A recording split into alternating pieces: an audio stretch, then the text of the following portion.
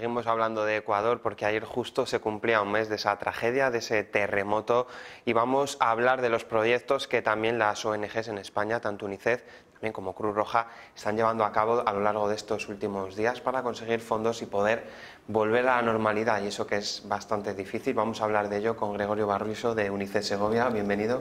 Buenas tardes, bienvenido. Y también con Isabel Gómez de Cruz Roja, bienvenida. Hola, buenas tardes. Eh, Gregorio además es el nuevo delegado de, UNICEF, que yo creo que la última vez que UNICEF estuvo presente aquí estaba todavía Carmeta. Carmeta, sí. Así, bueno, ¿cómo ha sido, antes de hablar un poco de Ecuador, cómo ha sido este, este trasvase? Bueno, primero porque la renovación es, importante en las, en las organizaciones y no mal asunto. Después Carmeta, eh, archiconocida, llevaba ya mucho tiempo y pedía un poco de, de descanso. Y entonces con la nueva reestructuración de UNICEF para ser más operativa, más ágil, eh, se hacen presidencias en las cabeceras de, comunidades autónomas. Entonces la presidencia de Castilla y León está en Valladolid. Y en las provincias se establece lo que se llama ahora el delegado de UNICEF, que es el puesto que paso a recoger yo ahora como delegado de UNICEF en, Segovia qué proyectos está realizando UNICEF Segovia, bueno, también a lo largo de, lo ancho y largo de, España para recaudar fondos y para estos proyectos en Ecuador. Sí, Ecuador, nosotros recordamos que hace efectivamente un año, el día 16, eh, ocurría la, la, catástrofe, la tragedia, y UNICEF se puso inmediatamente, aparte de tener delegación ya en el terreno en marcha, para poder atender in situ las necesidades perentorias inminentes que, que, surgían. Estuvo desde el primer momento y ya lanzaba las campañas habituales y los caminos más normales para recoger fondos buscando el objetivo de un millón de, dólares para las, eh, las, necesidades más urgentes. Situaba además eh, tabletas de potabilización del agua, que era fundamental. Los recursos necesarios inmediatos son la potabilización, cuidar la, sanidad, la, la, higiene, sobre todo del, del, sector infantil, de los niños y niñas y de las familias rotas por, por esa tragedia entonces, la sanidad es la primera, la educación es la segunda, que son los objetivos de UNICEF.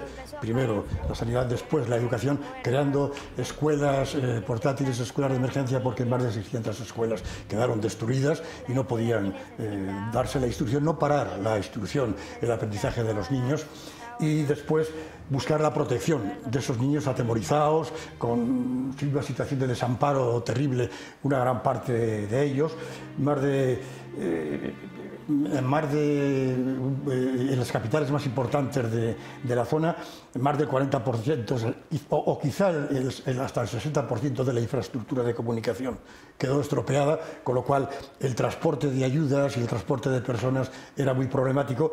Estar en esa situación y buscar también la, eh, acceder inmediatamente, tendría yo aquí algunos datos, con 20.000 eh, tabletas, eh, como hemos dicho, purificadoras, las escuelas móviles, tiendas de campaña, mosquiteras con insecticida para prevenir infecciones por mosquitos, el dengue, eh, y intentar de alguna manera controlar esos niños desprotegidos, solos que deambulaban por allí para que no fueran objeto de, extorsión, de utilización, es algo muy, muy serio. ¿no? Eso fue lo primero que se planteó UNICEF en el terreno y como empezó la convocatoria y en los terrenos donde ella ya opera, en los países eh, donde nosotros estamos, en los países más civilizados y con más posibilidad, en los 190 países donde UNICEF tiene eh, actuación, ¿eh? pues establecer los canales de comunicación que permitieran donar a los voluntarios, a los socios y a cualquier persona sensibilizada con el tema, la ayuda económica. El SMS, la palabra UNICEF y responder a la certificación del mensaje con un sí ya te daba cuatro euros inmediatamente íntegros para ayudar a UNICEF.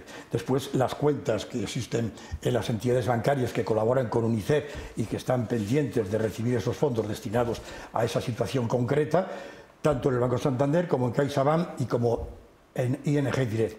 La información de www.unicef.es para toda la información que se requiera y si es barra terremoto de Ecuador, pues para eh, la canalización directa a esa situación porque hay otros, eh, otras emergencias en el mundo en las que UNICEF sigue actuando. El propio Comité Español de UNICEF destinó inmediatamente cerca de los 100.000 euros del, dinero que puede tener mm, de urgencia para emergencias que, saltan, pues ir al menos con 100.000 euros para iniciar la labor de colaboración desde nuestro comité español con el resto de los comités internacionales para esta labor. Eso fue el objetivo primero de, de, eso. de eso hace ya un mes. Ha pasado un mes y la situación en la que nos encontramos es que efectivamente los números se han disparado un poco y por ejemplo, en las zonas afectadas, en las capitales eh, donde se ha producido eh, mayor desgracia, siguen naciendo 100 euros, 100 euros, perdón, 100 niños, niños, niñas de media cada día. Entonces, claro, eso de alguna forma hay que atenderlo, ¿no? Y por lo tanto, el cuidado prenatal y después eh, el nacimiento es fundamental para poder atender y evidentemente el dinero. De aquí a junio la previsión de UNICEF, datos de UNICEF, es que se necesitarían 15 millones de, euros para mantener un poco la necesidad. De esos 15 millones hay que decir que a día de hoy se lleva recaudado únicamente el 15%. Por lo tanto, es bueno aprovechar esta ocasión para decir a la gente que, claro, la situación va quedando en el olvido, ha pasado un mes y ahí es vigente y rabiosa la necesidad de fondos. 2.250.000 frente a 15 millones que se necesitan. ¿no? Pues hablaban también, bueno, yo tengo varios datos apuntados, que hay más de 32.000 personas en centros de acogida, 350.000 personas también fuera de sus casas y casi un montante total de 72 millones de euros para intentar restablecer un poco la situación. No sé, Isabel, también desde Cruz Roja, ¿qué, proyectos se pusieron en marcha ya? Llevamos un mes desde ese terremoto. Bueno, eh, como todo el mundo conoce, Cruz Roja es un movimiento internacional desde el momento en el que se produce la catástrofe, la Cruz Roja Ecuatoriana eh, se pone a disposición, lógicamente, y empieza a trabajar en la distribución de ayuda humanitaria, en el rescate de personas desaparecidas, en, el eh, restablecimiento de, lazos familiares, en la búsqueda de personas. En Cruz Roja Española tiene tres delegados en el terreno, con lo cual desde el primer momento hemos estado en esta, en esta catástrofe apoyando a la Cruz Roja ecuatoriana. Eh, también desde el primer momento Cruz Roja Española hizo una donación a la Cruz Roja Ecuatoriana para poder eh, eh, soportar lo que supone la distribución de ayuda humanitaria en estas, en estas catástrofes. Hay que distribuir, como bien decía mi compañero, desde pastillas potabilizadoras de agua fundamentales en estas catástrofes, o material de realojo, o material de alimentación básica. Y eso se hizo en un primer momento. Se envió un avión fletado por la ECI, la Agencia Española de Cooperación Internacional al Desarrollo, en el que eh, no se enviaron productos alimenticios, sino productos eh, fundamentalmente mantas y toldos de plástico, porque es muy importante que las personas puedan realojarse de una manera medianamente segura. En la actualidad, Cruz Roja tiene tres líneas de Cruz Roja española tiene tres líneas de trabajo en Ecuador. Una destinada al agua, al saneamiento y a la higiene, eh, lógicamente, eh, insistimos lo importante que es el agua potable en, estos, en estas eh, situaciones de catástrofe, no solo porque el agua es fundamental para la vida, sino porque es un transmisor de enfermedades muy, muy importante.